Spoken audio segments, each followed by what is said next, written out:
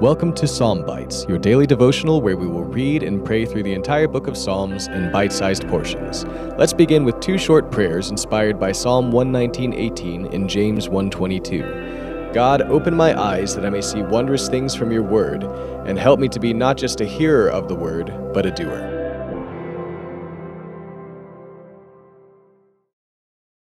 Today we will be reading Psalm 65, verses 5 through 7 in the New King James Version. By awesome deeds in righteousness, you will answer us, O God of our salvation. You who are the confidence of all the ends of the earth and of the far off seas, who established the mountains by his strength, being clothed with power.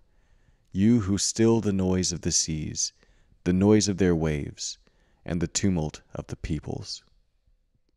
I'm going to highlight verse 5.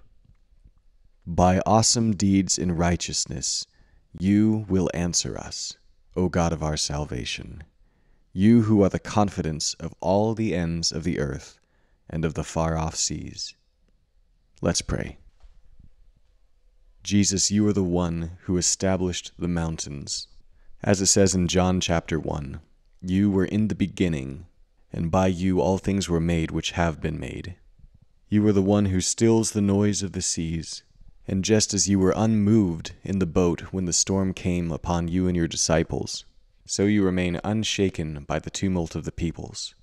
As it says in Psalm 2 When the nations rage and the peoples plot a vain thing to overthrow your leadership, you sit in heaven and laugh, because your lordship is certain and eternal. We trust that you are still on the throne, that you will answer us by awesome deeds in righteousness you are King of kings and Lord of lords, the confidence of all the ends of the earth, and the desire of the nations. God, would you show forth your power among the nations this day?